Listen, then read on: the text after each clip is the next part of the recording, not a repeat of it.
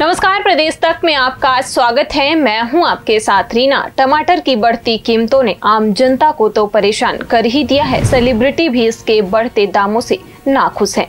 मशहूर एक्टर सुनील सेट्टी ने टमाटर को लेकर अपना दर्द ज़ाहिर किया है। सुनील सेट्टी ने एक सफल अभिनेता होने के साथ साथ एक रेस्टोरेंट के मालिक भी हैं। रेस्टोरेंट मालिक होने के तौर पर उन्हें टेस्ट के साथ समझौता करना पड़ रहा है। बकौल, सुनील सेट्टी, इन दिनों वो कम टमाटर खा रहे हैं। सेट्टी के मुताबिक वो एक रेस्टोरेंट चलाते हैं। इसकी वजह से उन्हें भी सब्ज़ियाँ खरीदने में मोल भाव करना पड़ता है।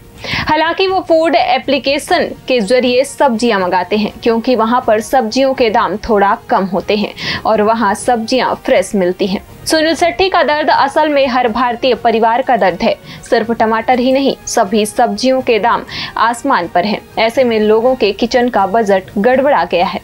देश के कई हिस्सों में हो रही बारिश की वजह से आने वाले समय में भी लोगों को इस मुसीबत से जल्द छुटकारा मिलते नज़र नहीं आ रहा है।